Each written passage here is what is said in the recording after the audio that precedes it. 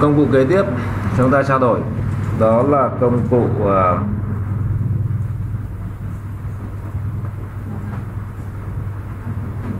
drop shadow đi. Đây chúng ta sẽ xem tiếp sang trường hợp drop shadow. drop shadow thì nghe tên thì à, chúng ta sẽ hình dung ngay ra cái à, vai trò của nó. Đó là tạo bóng đổ cho đối tượng ở trong Corel thế thì bây giờ chúng ta uh, chọn một đối tượng và chúng ta nhấp vào công cụ drop shutdown. Sau đó thì chúng ta kéo trực tiếp ở trên đối tượng. Chúng ta sẽ được cái gì?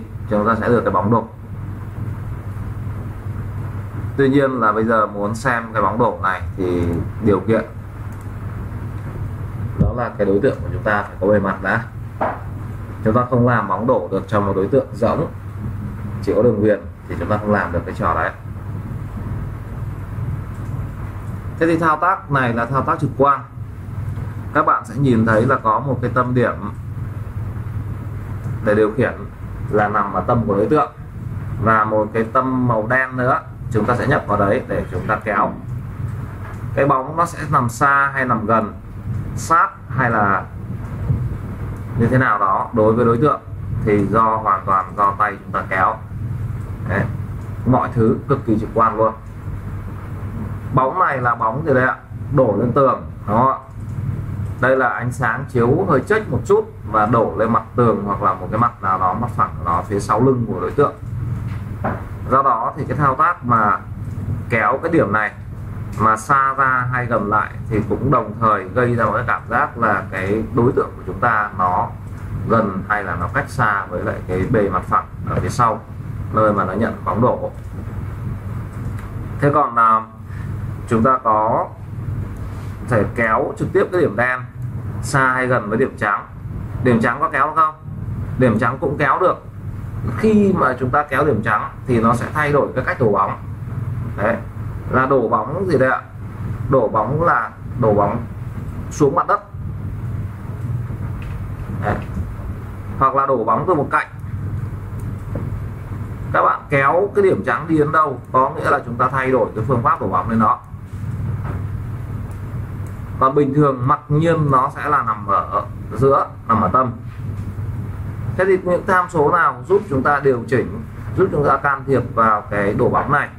Thì các bạn lưu ý, các bạn có thể là làm việc với lại cái preset, là một số các gợi ý, hoặc là một số các mẫu cho sẵn ở phía bên tay trái của cái thanh property. Tuy nhiên cái số lượng gợi ý này thì nó không có nhiều.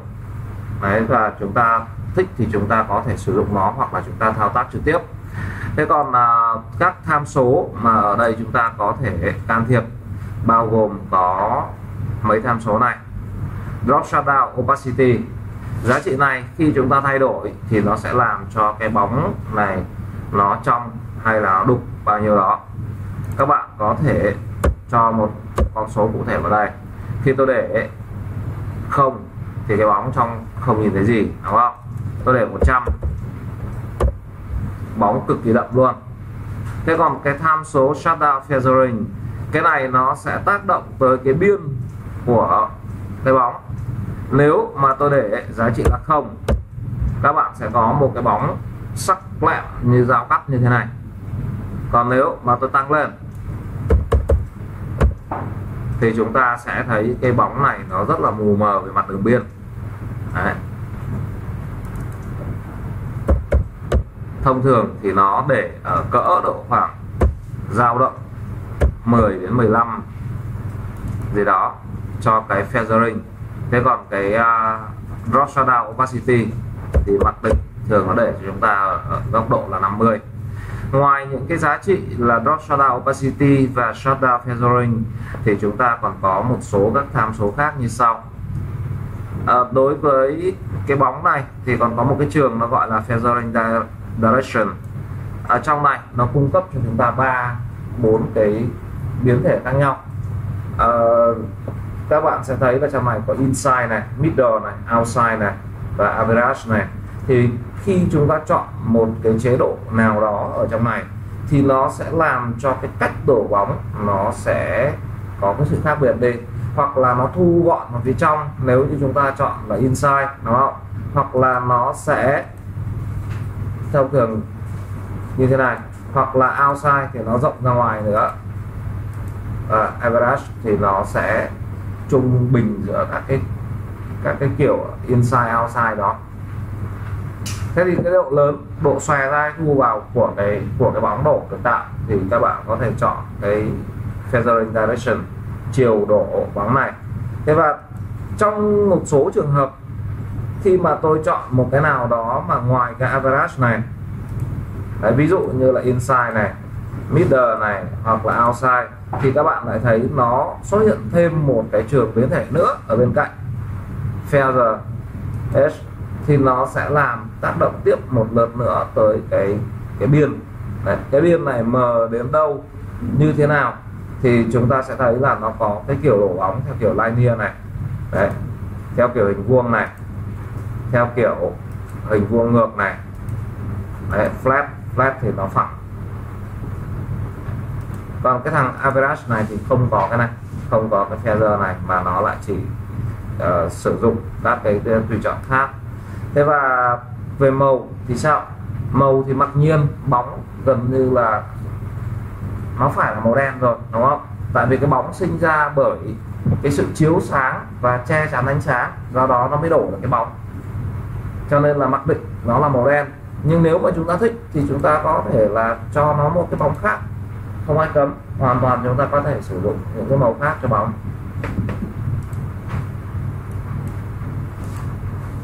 Thế còn lại, đó là cái trường là chúng ta gọi là blending. Đó. Bình thường nếu các bạn đổ cái bóng này lên trên cái nền trắng thì các bạn đổ thế nào cũng được. Thế nhưng mà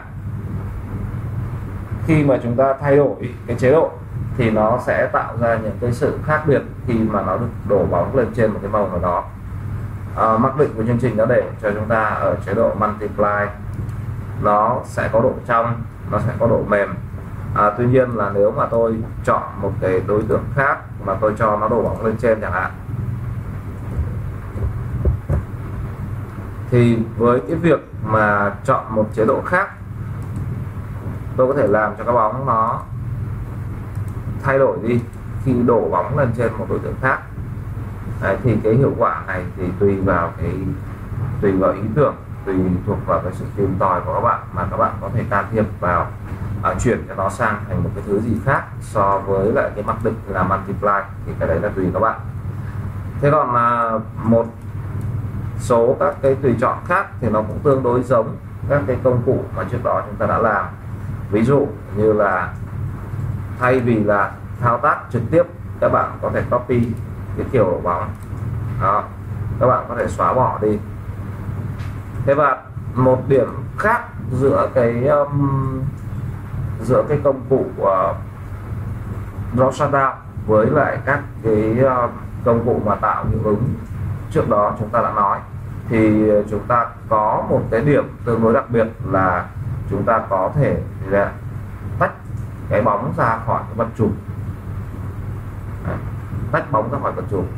Thường thì các cái hiệu ứng trước đó chúng ta đã nói thì nó chỉ là áp dụng hiệu ứng hoặc là gỡ bỏ hiệu ứng ra hay là chúng ta nói nói, nói một cách ờ, đơn giản là thế này uhm, tôi tôi tôi um, tôi xóa bỏ hiệu ứng. Đấy thế nhưng mà trong trường hợp drop shutdown thì các bạn còn có thêm một cái tùy chọn nữa là gỡ cái hiệu ứng ra khỏi cái vật chủ trở thành một cái đối tượng độc lập. Ví dụ đây, các bạn thấy là tôi bấm vào cái bóng này. Bây giờ tôi vào object, tôi vào control K. Tôi có thể nhắc cái đối tượng này ra, nhắc cái đối tượng này ra. Hai cái thằng này bây giờ là hai thứ mà không liên quan gì đến nhau nữa các bạn có xem phim hoạt hình không nhỉ? Hay là chuyện đấy thỉnh thoảng nó có những cái uh, nó có cái trò gọi là gì nhỉ? Cái bóng nó trốn khỏi khỏi uh, chủ của nó ấy. Đấy, trong trường hợp này thì các bạn sẽ thấy rằng là chúng ta có thể tách cái bóng ra thành một cái đối tượng độc lập chả liên quan gì tới chả liên quan gì tới cái đối tượng gốc nữa. Đấy. thế còn ứng dụng của nó thì ứng dụng rất là đơn giản rồi, đó đơn giản nhất trong các loại đơn giản, đó là tạo bóng cho một đối tượng nào đó. Và tất nhiên một đối tượng được tạo bóng thì nó sẽ có cái ấn tượng thị giác nó mạnh hơn nhiều so với một đối tượng mà chúng ta để một cách bình thường đó đổ bóng nó sẽ làm cho chúng ta có một cảm giác về chiều sâu, về không gian, về cái tính thực của nó nó sẽ cao hơn so với một cái đối tượng thông thường mà chúng ta chỉ có thiết kế nó trên một cái phương diện 2D thẳng khi đổ bóng một cái lập tức nó sẽ có chiều sâu nó sẽ có không gian. Nó làm cho nó làm cho cho cái thiết kế của chúng ta trông nó có vẻ nó nó sẽ thật hơn. Vì nó có không gian nó có mô phỏng ánh sáng ở trong đó.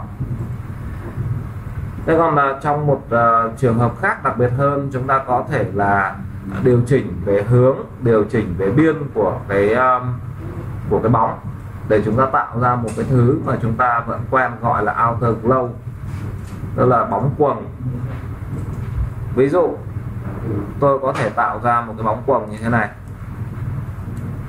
Thay vì việc là đổ bóng, lệch về một phía, thì tôi có thể kéo theo cái kiểu là gì đấy ạ? Cân đối cho tới biên của đối tượng thôi. Và sau đó thì tôi sẽ chọn lấy một cái màu nào đó mà nó sẽ nó sẽ nổi lên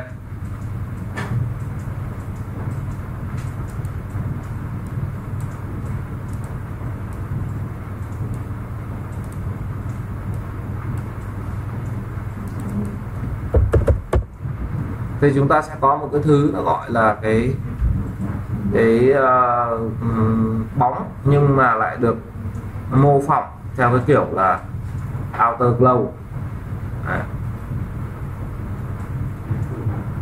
Ví dụ trong thực tế thì các bạn có thể gặp nó ở đâu nhỉ? Biển bảng quảng cáo đó biển bảng quảng cáo thì nó có hai ban ngày thì không nói nhé. Ban đêm thì chúng ta sẽ thấy được cái uh, ban đêm chúng ta sẽ thấy được cái biển đó bằng vài cách. Một là chất liệu nếu mà xuyên sáng thì uh, chúng ta sẽ có được cái uh, cách là đặt đèn ở trong lòng biển để cho nó hắt từ trong lòng biển ra. Một dạng nữa thì là chúng ta sẽ có đèn dọi từ bên ngoài, dọi vào mặt biển để chúng ta nhìn thấy. Đấy, nhưng mà có một dạng nữa là chúng ta sẽ thấy là, ví dụ người ta làm những cái chữ mà chữ nổi, nhưng chất liệu thì hoàn toàn lại không xuyên sáng, nhưng người ta sẽ đặt đèn ở bên trong, đặt đèn ở bên trong lòng của cái chữ đó. Và khi mà đến tối người ta lại không không dọi đèn vào mặt biển nữa, hoàn toàn tắt đèn luôn. Thì cái ánh sáng nó hắt ra từ cái từ cái lòng cái chữ ấy nó đập vào cái mặt biển đến đâu thì nó sẽ làm tạo ra một cuồng sáng đủ để cho người ta nhận thấy được cái bóng bóng đó. Và qua đó thì nhận được cái chữ. Ví dụ bây giờ chúng ta làm thử một cái uh, biển dạng như thế nhá.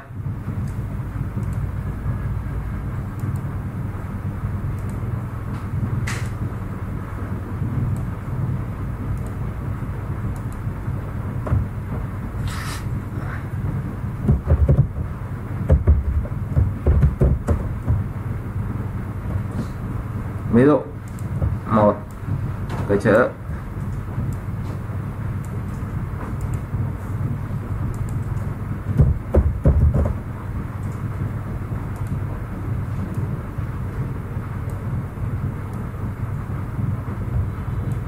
Tốt nhất là chúng ta sẽ tìm một cái biến thể nó dày dày lên một tí.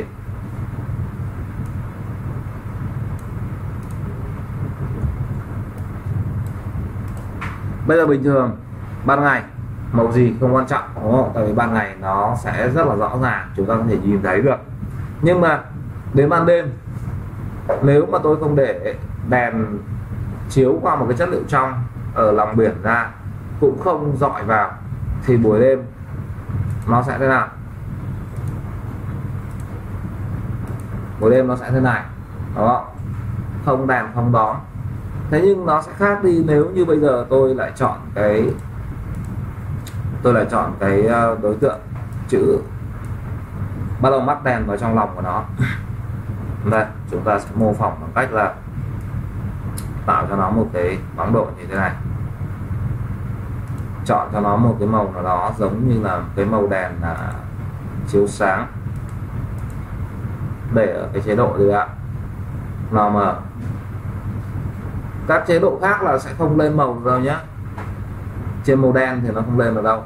Thì chúng ta phải giảm nó về nó mà sau đó thì các bạn sẽ lần lượt điều khiển các cái giá trị khác. Ví dụ như là tăng cái tham số này lên để cho nó sáng hay là nó tối, đúng không? Tăng cái giá trị này lên để làm cho cái biên của nó mở rộng hay là không. Bằng cách là thiết lập như thế này, thì chúng ta có thể là có một cái cách khác làm những cái biển quảng cáo, thay vì dọi đèn đằng trước hay là xuyên sáng ra thì chúng ta sẽ đặt đèn ở trong lòng các cái đối tượng chữ hoặc là hình mà chất liệu thì không xuyên sáng nhưng nó sẽ tạo ra cái độ hắt sáng như thế này Đấy. thì đây cũng là một cách để làm cho cái cái cái cái cái biển vào buổi tối nó sẽ có cái sự khác biệt rất là nhiều so với cái cái cách mà dọi đèn, hắt đèn khác. Đấy. đó là dấu đèn vào trong, dấu đèn vào trong lòng, chữ hoặc là hình ở trên biển. Đấy và không ờ, không dọi nữa. Mà để cho tự cái ánh sáng nó hắt ra từ cái đường biên, từ cái quầng sáng ừ, ờ, đấy thì người ta sẽ đọc được chữ, người ta sẽ đọc được, người ta sẽ xem được hình ở trên biển. Thế đây là một kiểu để cho chúng ta có thể là mô phỏng, để cho khách hàng thấy được à làm được kiểu này, trong buổi tối nó sẽ ra làm sao? Thế thì à, đấy là một cái biến thể, đấy là một cái kiểu cách áp dụng của cái công cụ à, công cụ gì nhỉ? Là drop shutdown đấy. Và các bạn sẽ thấy rằng là còn có một cái cách này nữa. Đây là một cái biến khác của công cụ drop shutdown thay vì là tôi sẽ sử dụng nó để tạo ra một cái bóng đổ theo cái suy nghĩ thông thường thì chúng ta còn có thể sử dụng cái uh, công cụ draw shutdown để chúng ta tạo ra một cái mô phỏng về màu sắc cũng như là về ánh sáng. Chúng ta có thể tham khảo thử một cái uh, như thế này. Ví dụ như là tôi tạo ra tôi muốn tạo ra một cái sự khác biệt về màu sắc đi.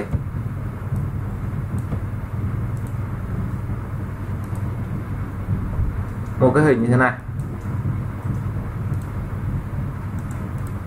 Bây giờ tôi muốn tạo ra một cái uh, cảm giác về cái um, về một cái bóng về một cái độ căng về một cái hình khối chẳng hạn. Thì tôi có thể tạo ra những cái um, cách tô màu và các cái mô phỏng. Chúng ta có thể nhiều cách. Đó. nhưng mà drop shutdown cũng có thể được coi là một cái biến thể trong đó. Tôi thích một cái hình như thế nào? Tôi có thể làm ra. Đây, các bạn quan sát.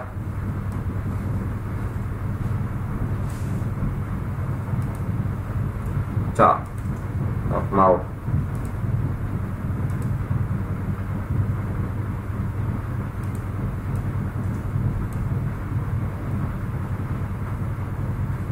Màu các bạn hoàn toàn có thể chọn lấy một cái kiểu nào mà các bạn muốn nhé.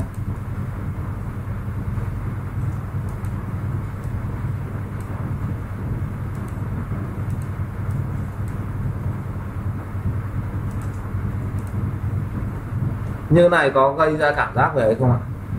Có gây ra cảm giác khác biệt về khối không không à? Chưa đủ đúng không? Đây, bây giờ tôi nhắc ra này.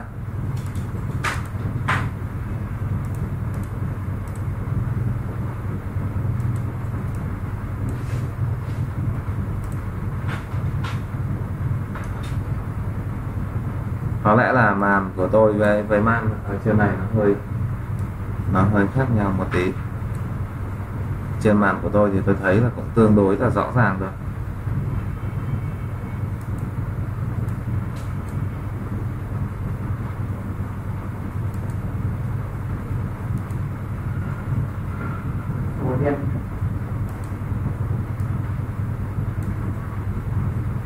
Đây, ví dụ này. Bây giờ nhắc ra. Cái này bẹt đúng không? Đấy, và khi mà tôi đặt một cái bóng đổ vào đây, xử lý về màu, xử lý về độ trong, xử lý về biên, chúng ta có thể làm cho người ta thấy rằng là có vẻ như cái này bắt đầu có cái sự chuyển về mặt hình khối. Màu có thay đổi, chắc chắn là có rồi, và nó sẽ gây ra một cái cảm giác gì đó về mặt về mặt hình khối hoàn toàn có thể lợi dụng cái cái cái cái blend này cái ờ, cái cái tính chất ờ, của cái um, drop shadow này. Đấy các bạn muốn đặt vào như thế nào đó thì các bạn đặt vào. Muốn hình thế nào thì chúng ta vẽ một cái vật chủ trước. Đấy sau đó thì kéo cái bóng ra có hình như thế. Và đến lúc mà chúng ta tạo ra đặt vào đúng chỗ rồi thì các bạn có thể làm sao tháo ra. Brecht lúc này thì cái bóng này nó như là một cái đối tượng mà chúng ta có thể di dịch, không liên quan đến đối tượng này nữa. Các bạn có thể xóa nó đi như thế này. Đây bây giờ tôi cho các bạn xem thử một cái ờ, một cái ví dụ khác.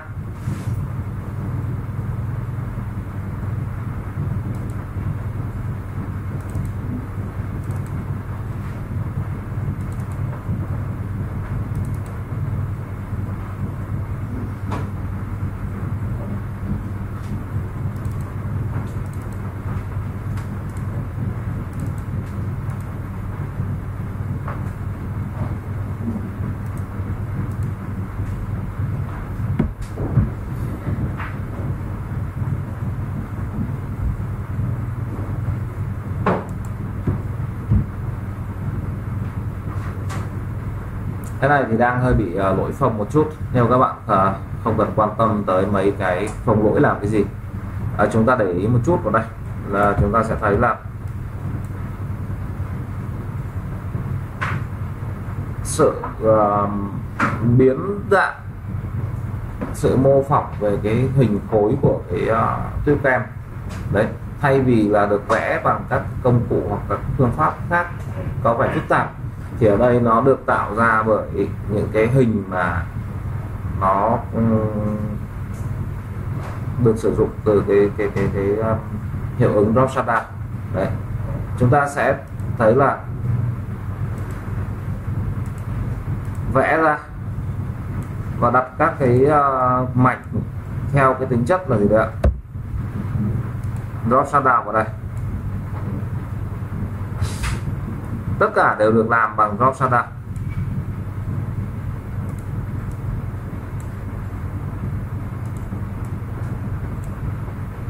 nhắc ra, bây giờ còn ấy không ạ?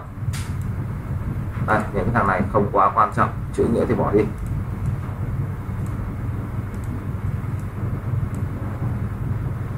Bây giờ phẳng nét rồi, đúng không ạ?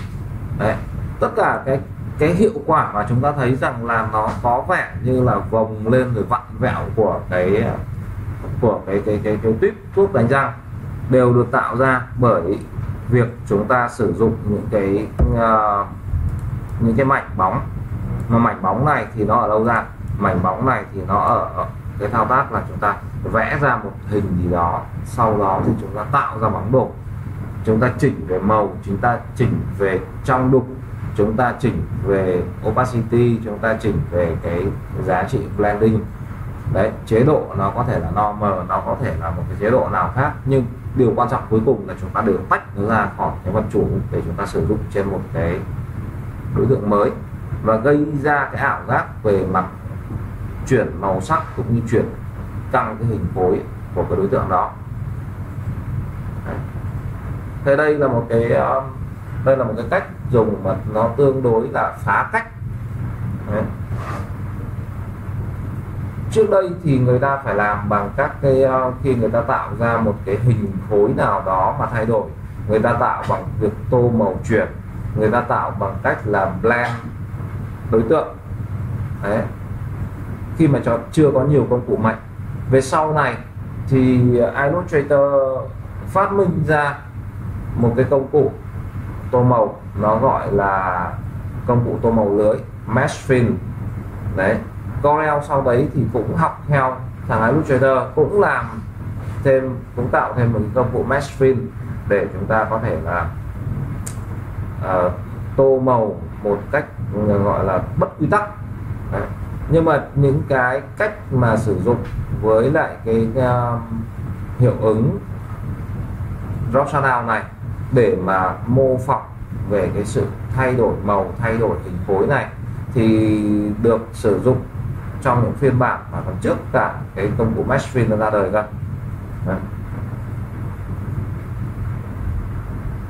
Tức là chúng ta sử dụng cái cái cái cái cái, cái bóng này thay cho những cái phương pháp mà tô màu phức tạp. Đấy. tất nhiên ở trong một cái mức độ nào đó nó không thể đủ tinh vi để mà nó giúp chúng ta làm ra những cái mô phỏng nó thật là thật là tỉ mẩn thật là thật là biến uh, biến màu rồi biến những các thứ nó tinh tế đến cùng cực. Nhưng mà ở những cái hình khối mà có tính chất đơn giản thì việc mà sử dụng cái bóng này lại là một cái thao tác rất là nhanh. Đấy. nhanh hơn cực kỳ nhiều so với việc các bạn sử dụng cái cái kiểu tô mesh fill thì ờ, cái này là cỡ năm ờ, cái này là cỡ năm ờ, khoảng độ 2000 2002 gì đó. Đấy, đã được đã được sử dụng từ từ quãng đó. Đây là một cái đấy là một, đây là một cái phá cách mà tôi đã đã dạy cho các bạn học sinh từ cái thời đấy từ 2002 đấy. thay vì làm rất là phức tạp thì chúng ta có thể là vẽ ra một cái bóng mà chúng ta điều chỉnh nó để tạo được cái hiệu hiệu quả về mặt thị giác. Đấy. biến màu biến khối. Các bạn có thể uh, thử nghiệm giúp tôi để xem. Lấy một cái um, hình ảnh nào đó về một cái sản phẩm ở trên um, ở trên mạng đúng không? Thường nhất là tốt nhất là các bạn tra với lại cái uh, từ khóa là cosmetic đi mỹ phẩm đi. Các bạn sẽ thấy có các tuyếp có các chai nó bao giờ nó cũng nhấn rất mạnh vào cái thao tác là chụp để làm sao cho nó ra được những cái những cái độ long lanh những cái hắt sáng của các cái uh, chai lọ các cái tuyếp mà mỹ phẩm hay các thỏi son. Thay vì việc là mô phỏng nó bằng cách nào cái kia các bạn có thể vẽ nhanh lại cái đấy và thử sử dụng cái phương pháp là sử dụng bóng đổ này đi. Drop shadow này xem xem là làm cả một cái như thế thì nó nhanh hay nó chậm. Nào, thử tìm kiếm nhá, tìm kiếm thử một cái um, một cái hình mẫu nhé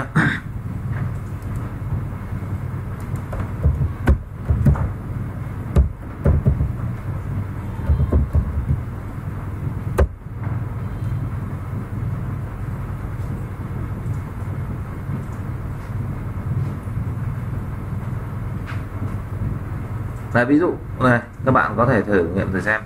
Một cái hình gì đó. Chúng ta lấy thử một hình đó, vẽ thử giúp tôi thử một cái xem nào. Chúng ta sẽ dùng uh, các cái phương pháp tô màu các phương pháp vẽ mà chúng ta đã biết. Chỉ cần một hỏi son thôi không cần nhiều.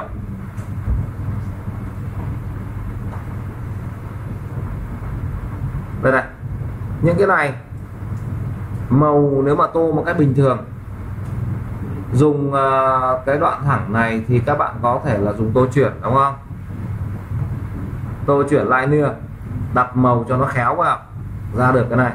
Nhưng nếu mà tinh hơn nữa để làm cho nó ấy thì cái tô màu chuyển chúng ta sẽ phải đo rất là kỹ thì chúng ta mới làm được cái biên nó vừa căng mà nó lại vừa có cái độ mờ ở đây. Nhưng cái đoạn này này cái đoạn mờ ở trên cái thỏi son này lại là cái mà làm tương đối là mệt đây. Đo vẽ làm sao để cho nó lẩn vào, làm sao để cho nó mềm mại. Các cái phương pháp tô chuyển thông thường rất rất khó để chúng ta giải quyết được cái vụ này. Đấy, nhưng mà với một cái ờ, với lại một cái thao tác tạo bóng đổ thì các bạn lại làm nhanh vô cùng luôn. Không phải đo nhiều, không phải tính nhiều thử đi.